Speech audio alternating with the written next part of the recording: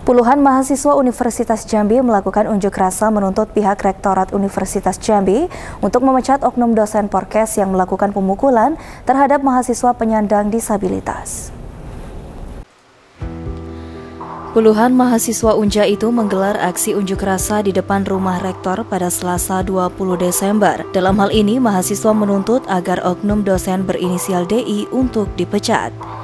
Zikri, salah satu mahasiswa mengungkapkan rasa kecewa atas respon Rektor Universitas Jambi yang tidak memberi ketegasan atas aksi kekerasan yang dialami Atur Widodo. Bahkan sampai saat ini Unja belum memberi skorsing kepada pelaku, bahkan pelaku masih aktif mengajar di Fakultas Keguruan dan Ilmu Pendidikan.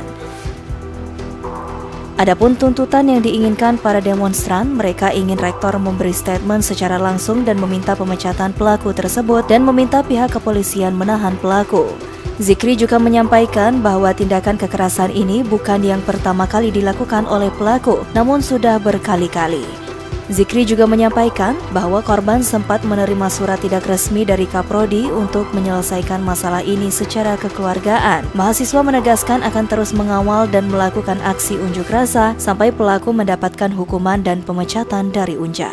Kita nih nanti? Uh, kami sebenarnya kecewa dengan pihak Universitas Jambi yang mana kami meminta ketegasan dalam artian pemberian sanksi ataupun tindakan tegas statement dari Pak Rektor dan nyata kita tidak mendapatkan hari ini pernyataan tegas tersebut.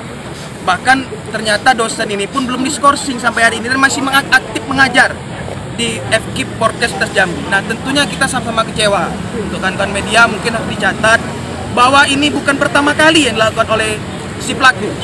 Yang mana ini sudah dilakukan sebanyak tiga kali dan perlu kawan-kawan media ketahui bahwa perlu diingat bahwa korban ini dipukul bukan hanya sekali, tapi sebanyak tiga kali.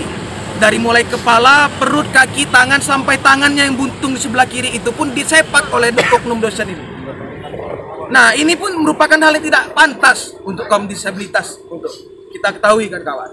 Nah, kemudian belum lagi intervensi dari pihak kampus yang mana ada kaprodi yang memberikan surat yang tidak berkop untuk melakukan klarifikasi kemarin hari Senin kebetulan korban berkonsultasi kepada saya. Saya sampaikan jangan datang karena hanya akan ditekan oleh pihak kampus.